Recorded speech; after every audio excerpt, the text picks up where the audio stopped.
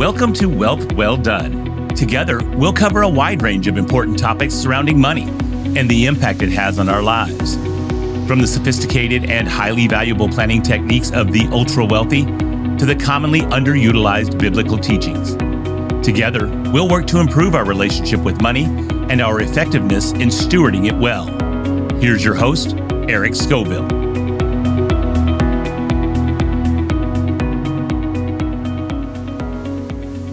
Welcome to the 13th episode of the Wealth Well Done podcast, where we go after the tactical, practical, and spiritual advice to help you do your wealth well done. Um, as always, we have the disclaimer here that says anything that we're talking about in the show is meant to be generic. And so take this advice, uh, apply this to your situation, work with your financial team to decide what does and does, uh, doesn't make sense for you. But um, here today, I'm so happy to have uh, good friend Jeff Miller here for, for another episode. Last week, we went after the ways um, to help you get healthy with money on the individual level, which you brought up is is impossible until you get healthy, eh, you know, yourself first. You have to heal from the inside out, and then you can go after how to get healthy with money. And it's just it's a it's a thing that mo- most most people really struggle with, and they don't even know that they're struggling with it. It's kind of this this hidden, this deceptive one. Um, so, thank you for what you did last week. This week here, we are going after the impact of money inside marriage. And so, uh, Jeff Miller, for those of you who didn't listen last week, they were uh, Jeff is the co-owner of Glen Manor Counseling in Peoria. He has been a uh, licensed therapist for almost 30 years. He is a third third generation farmer, or maybe more than three generations, and he's also the chairman of the elder board at Northwoods Community Church. So um, Jeff is is uh, very well suited to have this conversation, and he also has a perfect marriage. Which, which Don't is, ask my wife that which question. is even better. So, so he's the perfect man to, to talk to us about this. Um, so we we know that in this, I'm going to say this country, um, but this is this is a worldwide issue. But let's just focus here in this country. We've screwed up marriage, just about every which way you you can look at it. We have screwed up marriage. You know, 50% of marriages fail. I don't know if that number has changed a little bit here in the last few years, but that's that's been the number that was around for a long time um, seems like many of those failures have money somewhere near the core of the problem. Um, you know, top top two issues in all marriages: sex and money. Sex and money. Sex and money. Top two issues. Okay. So um, for this podcast, we're going to leave the sex. We don't have to leave it out of it, but we're going to focus on the money side here. Um, but you know, and, and what we discussed last week was that money may not be the real issue. That money is often maybe right. the symptom, or it's it's what looks like the um, it's what appears to be the issue here. But but there's probably something deeper. And so last week we we dug into that a little bit more. Um, it, when you look at marriage, mm-hmm. how much of it still is back to the core of what we talked about last week, where money's not the money's just a symptom. How much of that is? Oh, well, it's 100 percent because it money and wealth represent a issue of power. Okay. Okay. So money, who controls the money? Who's the spender? Who's the saver? Uh, who's blowing up the credit card, who's paying the bills, who's wrestling with how to get the debt covered. Those are all power related issues in the marital relationship. And so they, they, they expose poor communication. They expose poor limits and boundaries. They expose all kinds of other problems that just get labeled as money problems. Yeah. Okay. All right. Um, if you were to, if you were to look at this, what is a what's a man needing out of marriage? well, you know, top top two needs that that that men or the top need that men have is to be respected. Mm-hmm. Top need that women have is to be reassured that they are loved. Now you can think about how how would money play into that equation. So for the guy to feel respected, it would be thank me for all the money I earn and don't question how I spend it. Yeah. For the woman, it would be, I want to know that we're okay. I want to know that we have a retirement plan. I want to know we can cover the expenses for the kids who go to college. I want to know that we can get them into the into little league and we've got enough money to do all that. So it's a different function for each partner, but we have to be aware of those functions and try to meet both of those sets of needs. That takes work. It doesn't just happen right. just because somebody goes to work and a paycheck comes home. Okay, so a man needs needs respect. Mm-hmm. And as we talked about last week, often that might it, the the the lie that we have there is that respect comes because I make a lot of money. Correct. So I make more than you if we're if I am competing against you and you're mm-hmm. the you're the handsome guy who lives in the bigger house down the street, um, or you know you're the you're the brother-in-law or something else like that, and, and, and Mhm. you inside families they have tons of that. Um, but so a man might think that his respect comes From he's going money. to earn that by Right. having more money. right. And so lie number one we have to figure out is respect doesn't come from there. Correct. Respect does not come from money. It comes from your integrity. It comes from your values, your morals, your ability to be depended on. It, it ultimately goes back to, you know, what is the role of a husband in a godly marital relationship? It is to protect, to provide for, to nurture, to care for, to be selfless. It is all kinds of things that aren't related to just bringing in you know, six or seven figure income. It, it, it, that that's not what it's about. Yeah. Okay. So let's stick on the guy for a minute. How do I, as a as the male inside of marriage who's supposed to be the leader and the the provider in this sense, how do I um, maybe disconnect the this piece that, that I'm thinking that it's all about money to, to to do that, or if I if what I perceive from my spouse is that it's mainly money related, how do I how do I break that connection um, of that maybe that deception and get deeper into the into the root of this and get into real truth.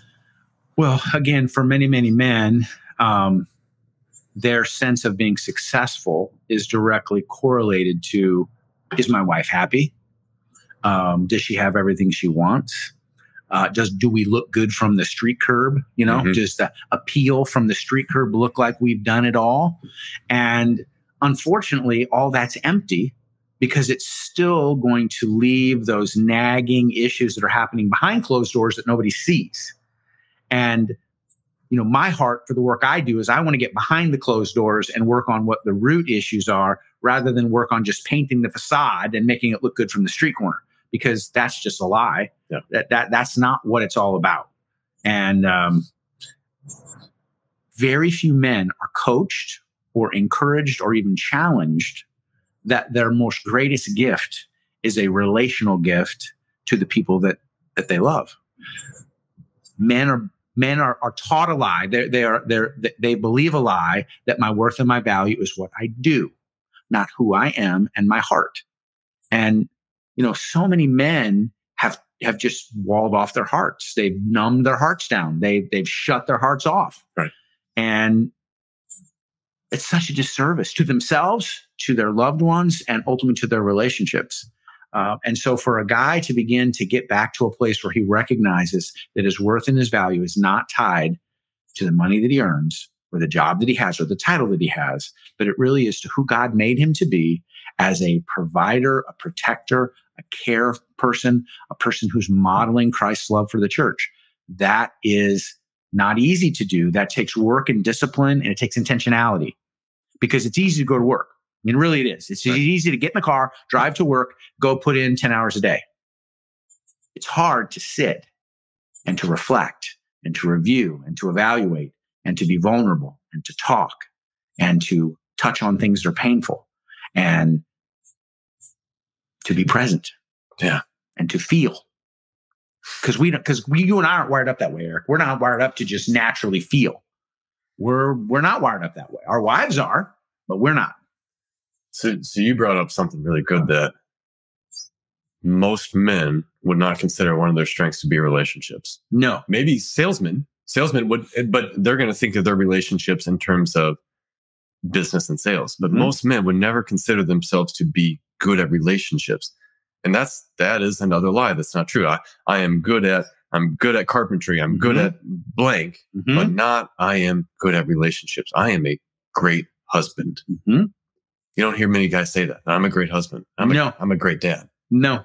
I mean, I mean, if you did, if you did an icebreaker at an event with a bunch of guys, go around the room, tell us about yourself. Yeah, my name's Bill, and I, you know, I, I pour concrete, or I'm Steve, and I sell cars, or I'm Phil, and I do insurance. Not, I'm Jeff, and I am a servant of Jesus Christ, skillfully disguised as a husband and a father.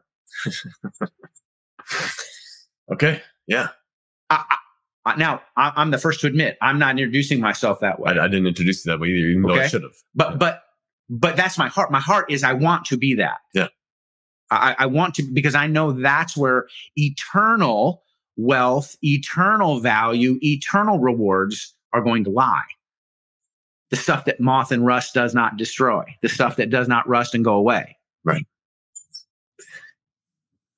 So when we, um, when I was making my career jump, I had the the the realization come to me because so I was offered a I was offered a the, the next position up, and it was it would have been a fantastic promotion, and it seemed great, and I just had this thought of on my deathbed, I will not care about titles. I really won't care about what title I held in a, in a position in, or in a company. It won't matter. And what will matter, like, I want to be a phenomenal dad. I want to be a phenomenal father. And that takes time. Mm-hmm. And my hierarchy is God, spouse, kids. Mm-hmm. And so if I need time to be a great dad, I need time to be a great, you can't be a great husband by just being a provider. You Nope. have to, and with, with financial means, you have to go be there. You have to do life with your wife. You have to support her. You have to, you have to just grow in that intimacy. And so I need time to be a great husband. I need time to be a, I, I, struggle to say being a great child of God's. Um, for some reason, I find it easier to say a great husband than a great child of God's. But in, anyways, like the, being the best child of, of God's that I can possibly be.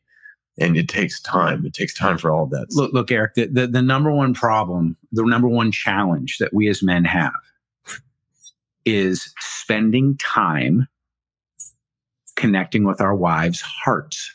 Hmm. Okay. We can go to the grocery store with them. We can clean up the sticks in the yard. We can clean a closet with them.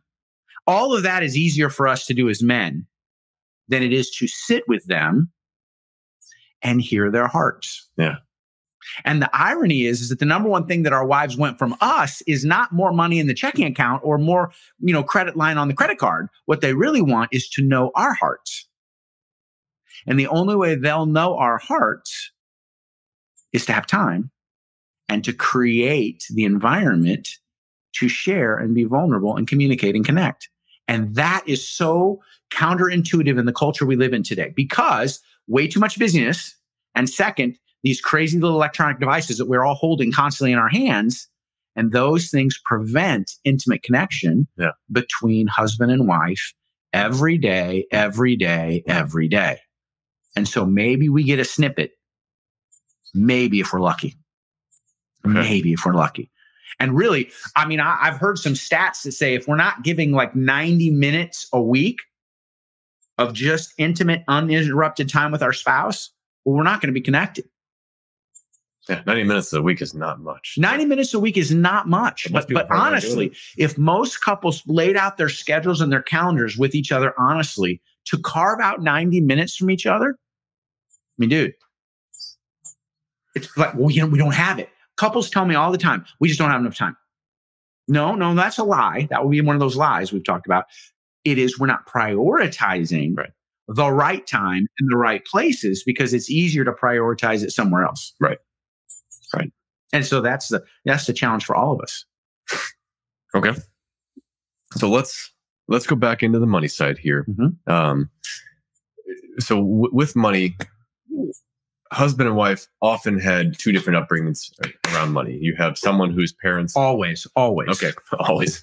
So, so you've got you've got You know that old opposites attract thing? Yeah, it's the you're same way with money. it, it, it is. One of you came from money, one of you didn't. One of you came from a healthy family, one of you didn't. It, it's the way it rolls. So every every time we with a new client, I'm always asking them, you know, tell me about your your financial background and, and, how you were raised with money. What Mhm. what formed your earliest concepts of money? Are we Mhm. Are we stingy? Are we Mhm. are we uh, generous? generous and abundant, or are Mhm. we are we you know unwise with it because we just Fearful we'll run out. And yes, um, so you have to you have to go back and understand. Then we we talked about that at- on the individual level last time. How do spouses come together with I'm this way and I'm this way, and how do we how do we find a healthy balance? Well, see, now you're making my case because the only way for that to happen is there has to be time to Sure. intimately communicate, to share those things about each other. So now let's go to dating. When we're dating, we have no problem spending time together. Right. We have no problem snuggling on the couch and, you know, doing all the things that we do when we're in the dating process because we want to win. We want to get close to that person. It goes to a certain level of depth, and then we decide we're going to get married and then we let put rings on fingers and spend thirty thousand dollars and have a giant uh, you know event, and then we have to like do life together. Well, the first two years, which is the honeymoon period, that's just easy because we're just playing. But then it starts to get hard because now babies come, and now decisions come, And now sacrifices and prioritization come into the equation. And the only way we can get on the same page and have the same values about things like money is to have been sharing our hearts and come into agreement or into union or oneness about where we're going moving forward on topics of money, how we're going to spend, how we're going to budget, where's, where's our money going to go, where's our money not going to go. And that takes time and energy. And most people don't do those conversations because they're risky, mm. because they create conflict. And most people are conflict averse, right. not, oh, let's go have a good conflicted conversation today. Let, let's go, let's go to dinner and we're going to have a good stimulating conversation about conflicted things. No, let's go and talk about the kids. Let's go and talk about the weather. Let's talk about safe things because we don't really want to get vulnerable and intimate. Yeah. And we want the, the fake intimacy, which is just yes. sex. So let me, let's keep it cordial. Yes. And then I took you on a date. So let's go have sex. Yes. Sorry for being, um, you know, not politically correct. Um, That, that, that's where that's where so many of it. It's exactly where it is. That's I, reality. I have annoyed my wife so many times by those conflict uh, conversations, but they're worth it. I, I, will tell you, absolutely, they are worth it because the the fruit of it on the other side of the annoyance and the pain of the conflict is is it's, incre- it's incredible once you have an understanding of each other, and and that's where having having someone and and to anyone listening to this podcast, you probably can't get Jeff. Jeff, Jeff is he he he doesn't have he doesn't he's, off, have, he's off limits. Yeah, Jeff, Jeff's off limits. Um, it would have been great for you if you could, but you need to find someone else who can help you facilitate those conversations, who can help you yeah.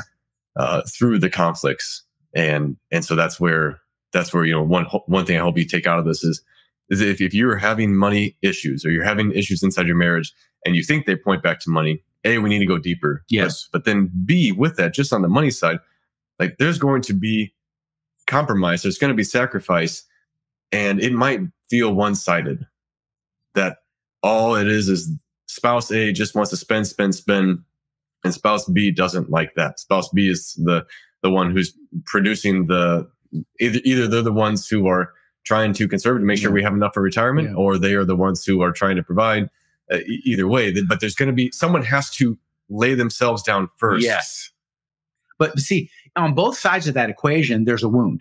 Okay. Sure. On the person who spends, spends, spending, they're spending because the spending is anesthetizing some place of fear and anxiety and discontent.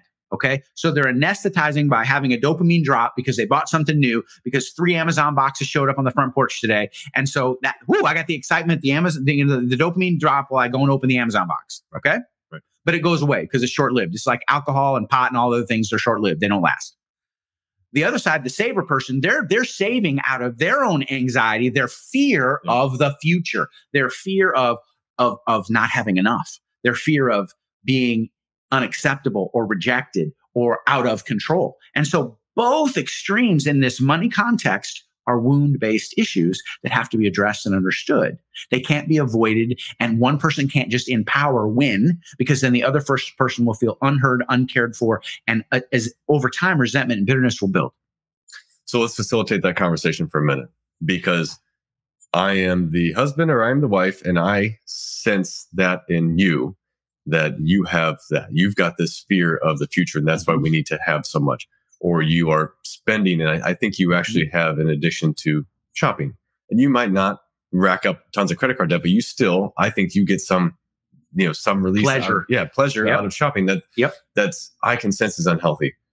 Ah, it's like going up and telling someone they've got a demon. How do you how do you how do you um initiate that conversation? Very simple. Okay. This is what everybody who's listening, I want them to understand very simple thing. You just have to seek to understand first. Mm. Seek to understand first. So the question would be, tell me more or help me understand.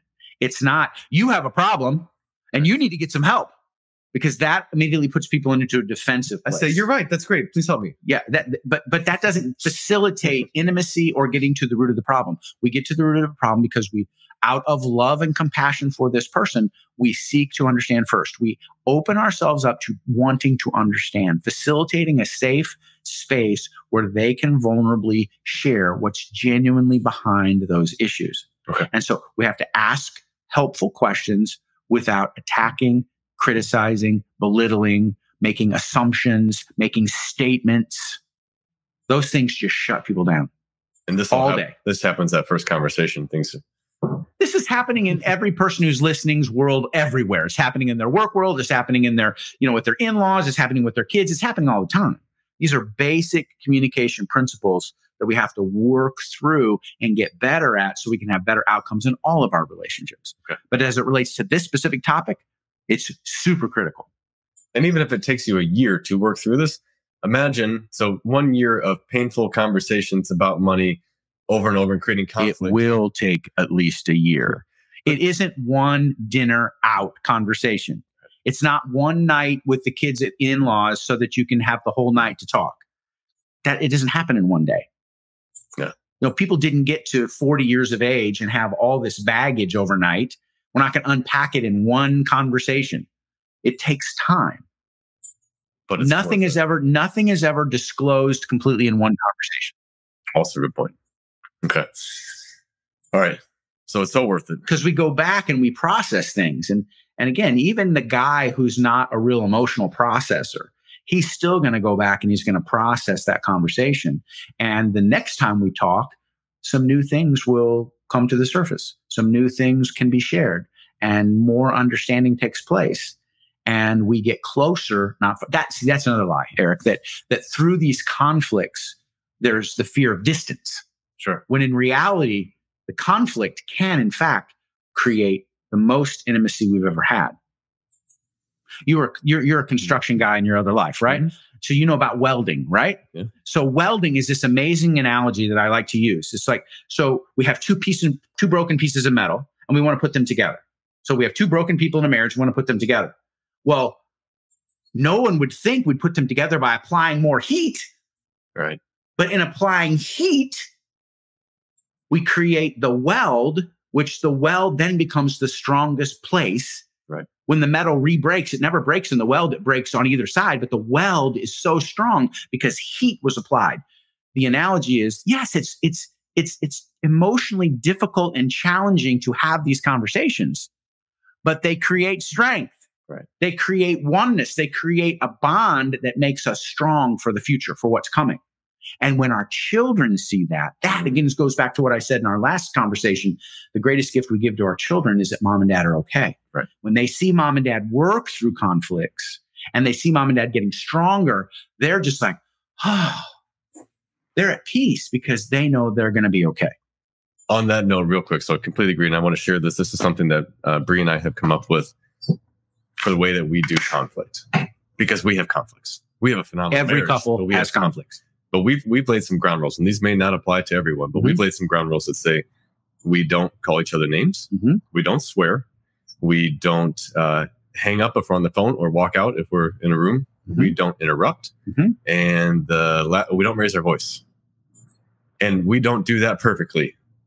I have still dropped an f bomb in a, in a, Yeah, in, yeah, a, in a yeah. disagreement with her. Yeah. but for the most part, and she'll call me out saying you're breaking the rules, Mhm. and and she didn't like the rules at first, but now those rules have allowed us to have conflict type discussions and we get to get to understand the point and not hear the blow up over here and someone sneezed wrong and so now we're going to go get upset about that and bring up something from three weeks ago there instead we get to stay on point and, and get into the um, into the meat of the discussion so So let me affirm for you what your ground rules and what anybody who sets their own ground rules up, what that really does. What that says is this matters to me. This relationship is valuable and I'm not going away. Because remember, everybody's greatest fear is being rejected and abandoned. sure Okay. So if we put ground rules around challenging conversations, what we're really saying is this matters to me. I value it. I value you. And so I'm not going to leave. Well done. That's what couples, and every couple needs to have their own ground rules. They don't have to be as elaborate as yours. They could be just two or three points. But if there's no ground rules, then there's no safety. that's a good point. point And we all need safety. All of us. Guy needs safety. Woman needs safety. Everybody needs safety. okay switching gears or go, going into another topic here um, a lot of couples keep separate finances No, and and they do. And so I want to talk about the problem that that presents. Whether whether spouse A and spouse B both earn the same amount of money, or the very most often it's a it's a Yeah. varying degree, and sometimes a wide varying degree. Whether you have a husband who makes a lot of money and gives his wife an allowance or any of these things like can you talk about the the problems that are being caused so the pitfall of siloed finances her checking account his checking account her pot of gold, his pot of gold, however you want to frame it up. The, the, the conflict there, the problem there is again, we're not doing oneness. Okay. The biblical context of marriage is to become one. We leave and we cleave. We leave away from our mother and our father, and the two become one. So, yeah, we become one sexually and intimately, but we're not really going to become one financially because I, because back to what's the issue of money in marriage is about power and control. And so when we're keeping our money separate, I'm keeping this pot of power and control. I'm keeping this pot of power and control instead of I'm trusting you Trust. with my future and we're in this together and there's no out clause. We're going to make it happen. And so we're going to pool our money together and we're going to do it as a union, as a oneness entity moving forward. And so when we keep it separate, ultimately, what I believe what couples are saying is we're preparing an out clause. Yeah. We're, we're, preparing, we're, we're, preparing, we're preparing to end. We're, we're, we're, we're already implying there will be an end because I don't trust you enough to give you my finances and I don't trust you enough that we can work together to come up with an appropriate solution with how we manage it. Yeah. And, and I've seen some where their, their marriages, so I'd say, are really strong. Mm-hmm. And I would say that in my perception that they might, I could never see them having, you know, exiting the marriage but I still think there's a lack of trust there as well. Then when they keep the separate finances, that there's a lack of trust as well. It is. It's it's it's control. Yeah. It okay. is not submission to one another. You know, again, submission is this big word that we, we toss around and, you know, women hate that term. But I'm just telling you, a woman in a relationship where the man is in submission to the Holy Spirit and in submission to her will have no problem submitting to him. Yeah. No problem. It's not an issue. But when she sees that he will go off and make decisions on his own that are selfish and not taking her and the children in the best interest, then she will have a hard time submitting because again, she operates out of an emotional framework. She's fearful of being wounded or hurt or left behind. And money, of course, is the number one representation of that. Yeah. And so obviously it's it's not hard to draw the the line then of how money can in, impact intimacy let's go there for a minute. You mentioned the two things: money and sex. Right and sex. So, so if we can go after, so someone gets health, so someone's maybe got an intimacy problem. Mm-hmm. Let's let's un- unpack that a little bit here and figure out where where they're at. And and you've you've mentioned that. Uh, just go there. You mentioned a lot of couples are not having sex. Oh, it's it's amazing in the in the population of 30 40 something year old couples that i work with virtually all of them are struggling to have any kind of regular sexual intimacy. And so the question is, why? And again, it goes back to my wound, lie, vow, stronghold that we talked about, you know, last week. But the issue is that there's something wounding that's preventing intimacy. The intimacy is not happening because I'm afraid, so I want to stay in control, or I don't feel important, so I'm going to hold back and keep myself and and stay safe because we're not doing that 90 minutes. We're, we're you know, women don't want to have sex without being connected emotionally. It's yeah. just the truth. And there's no way for a guy to create emotional connection without time. Yeah. Foreplay is a heart issue far more than it's a genitalia issue. So if you if you can do the emotional relational foreplay by having time, you you you put your, your wife in a position where she's willing to be intimate and close with you. But guys have to do that work. Guys want the sexual intimacy because they want some feelings that they're wrestling with to go away. They want the distraction of intimacy. Yeah. But what the wife wants is to know what's going on distractedly inside of you and to share that stuff with her. And then she wants to be intimate with you. But when that doesn't happen, we have we have we have conflict. We have we have pushing apart. We have you know, avoidance. We have aversion. We have all kinds of distractions that prevent that intimacy from happening. So healing a marriage might require a lot of vulnerability of a guy who doesn't like being vulnerable. It will require it 100%. There is no way for a guy to have a healthy marriage if he's not willing to be vulnerable. He, he has to be. He has to be willing to cry. He has to be willing to be vulnerable. He has to be willing to share his fears. He has to be willing to be more real with his wife than anybody on planet Earth.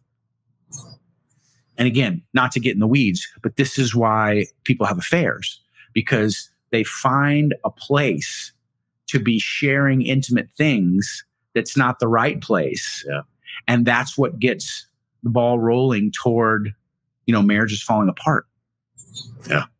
The anatomy of an affair is not about sex. The ama- anatomy of an affair is about needs not being met, not sexual needs, emotional, intimate needs. Whew, all right. That's good. Thank you. Um, We got away from money there we, for a we second. did, but but I, it, I'm guessing there's not too many married people listening to this podcast who who don't agree that there's there's some meat there for them. oh, yeah, that's resonating. yeah. Okay. All right, back on the money side. Because again, money becomes a symptom of all those things. Correct. It, it absolutely does. So, Yeah. you know, if if, I, if we're not if we're not safe sexually, well, then I'm going to withhold money. I'm going to spend money. I mean, so it, they, they are directly related. So you can't if you got a problem in one area, you're going to have a problem in the other. And, and that doesn't mean lack of money. You can you can be on minimum wage and Yeah. have an incredible intimacy with your wife if you if you have done the healthy, you know, you've done the work to get healthy. It has nothing to do with the amount of money. It does not. Often, the more money, the harder it is, which is, is obviously very biblical, as he, Mhm. you know, as Jesus talks about so often. The problems with, with the rich. So Because if I have more resources, if I have more money or wealth, then it's easy for me to think that I can go and take care of myself my own way. Right. Rather than I need the vulnerability of that intimacy with my partner and that no amount of money can solve that problem. Right. Okay. All right. Um, last topic that I want to do here is the uh, two career family. Yes. And so that's obviously become, it, it was something that was unheard of for a long time. It's Mhm. now probably, I would, I would venture to guess that that's the most prevalent um, scenario, uh, you know, in, marriages today, at least in the, in the United States. So when you have two career focused people, especially when you have, when you've got two very talented people who, who feel called into their career, who feel good at it, who maybe are validated by the by the success that they have in their career. How do you help? So obviously there there are some very common problems. You don't have to deny the fact that it's going to be harder on the kids. It's going to be harder on the family. You're going to have less time. Those things. How? What are some of the hidden problems there that they might not recognize if they're in this? You know, if you have two very career focused spouses. Well, again, I would say that that if you have two highly talented people who are working and doing well, Mhm. you probably have two type A people. Yep. Okay. And so type A people already start to see their worth and their value based on their performance, not on their ability to be intimate partners with one another. And so that becomes the first challenge. Their orientation or their worth is already in performance. Yeah. It's it's look look what degree I got in college, look at the job I've got, look at the salary I have, look at the title I have, look at the office I have. All of those things are masking a wound. Okay. Okay? Yep. They really are. They're masking a wound. And so now we've got two people coming together who are wounded people and they have a lot of resources and we're going to go hard after something. We're going to go hard after the house, hard after the vacation home, hard after the family. But pretty soon their needs as people start to boil up to the surface because all the stuff still isn't filling the void. It's not filling the need. Yeah. And there's no capacity now when you're a hard charger to slow down from being a hard charger and address those issues. So this is the challenge within the two income family because everybody's a hard charger and everybody's working really hard for this global goal, which is good. But but the person, the personal needs are being lost. They're being they're being missed because the goal is pay the mortgage, pay off the cars, buy the boat, get the lake house. That's the goal. Right. It's not. I need to know you. I want to make sure you're okay. I want to make sure you're you're, you're emotionally healthy. I want to make sure that you're feeling you're, you're feeling what you want to feel as a mom. What- You're feeling what you want to feel as a dad. Those, those things get missed. Yeah. Now, the other thing that's interesting right now, Eric, in the culture we're living in is now because of this hard charging thing, we've started to get more and more women who are making more money than their husbands. Right. That's a whole new dynamic.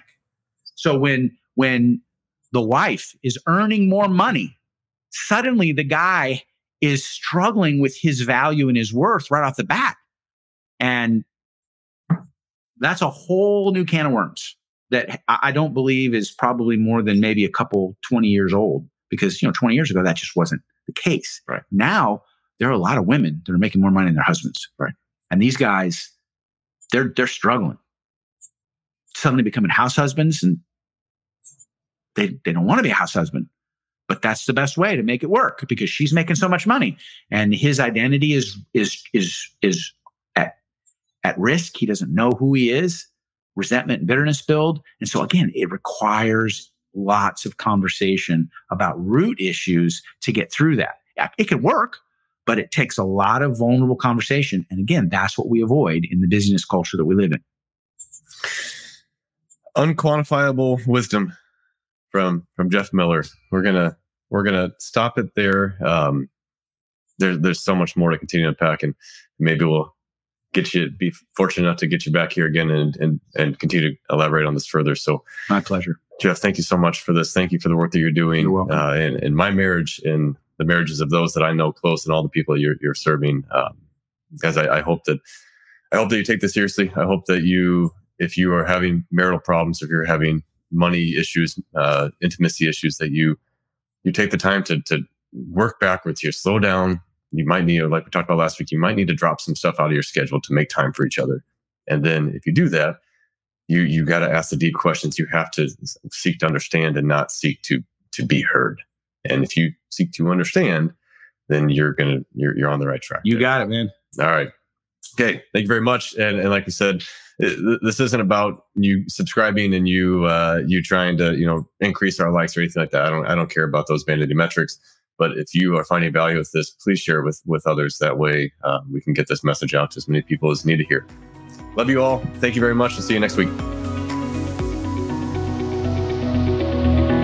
Thank you again for listening to Wealth Well Done. Be sure to subscribe to the show on your favorite podcast player, and together we'll continue to improve our relationship with money and our effectiveness in stewarding it well.